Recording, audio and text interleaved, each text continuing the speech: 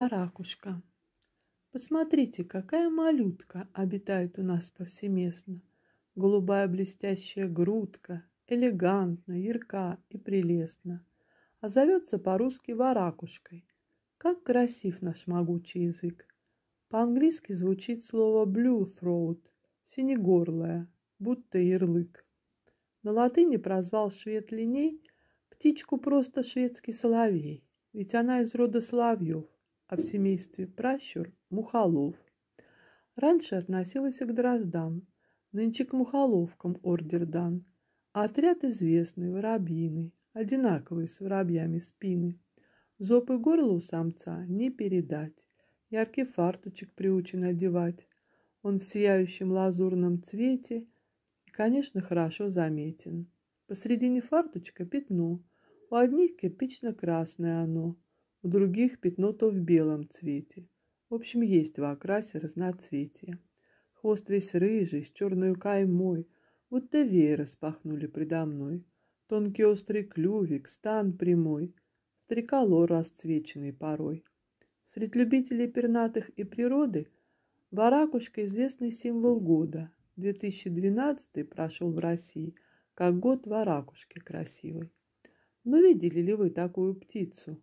Она обычно скрытна и таится, не подпускает близко человека, предпочитает куст густой и реку. Сидит самец, поет на ветке, и вдруг увидел он прохожего. Спиной тотчас перевернется, я спрятался, и прочь несется. А самка, как всегда, невзрачна, пятно белесое на горле обозначено, там голубого нет в помине, все в цвете буром, воробьином. Этимология же слова по-разному дается снова. В одном источнике «ворок-ворок» поют пернатый, в другом глагол «воракать» виноватый. По-старорусски это значит чушь нести, дразнить.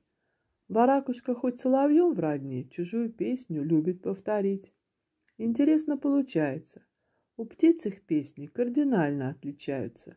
Зависят полностью от окружения, слова и музыка конкретной птицы пения. Поскольку мухоловками являются, то ясно, чем пернатые питаются. Их рацион составит насекомые, а осенью и ягоды съедобные.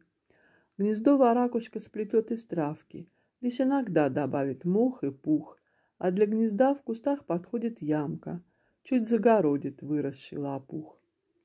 Варакушка страдает от пожаров, от варваров, что жгут весной траву. Апрель для птиц период брачный – горят в огне, теряя детвору. Сидит лишь самка на гнезде, самец добытчик и певец. Как прилетает с юга он, поет весь день, лишь в сумерках конец. Та песня длинная, разнообразная, довольно звучная и мелодичная. По красоте лишь уступает соловьиной, а главное, от всех отличная.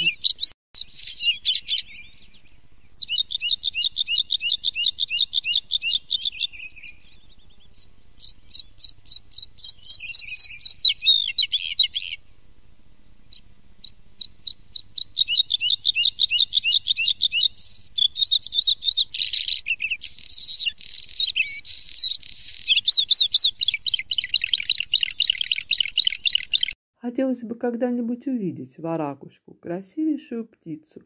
На берегу различных водоемов, во врагах любит поселиться. Как соловьи не любят стаи. На юг летают в одиночку, летают низко, незаметно, предпочитая время ночкой.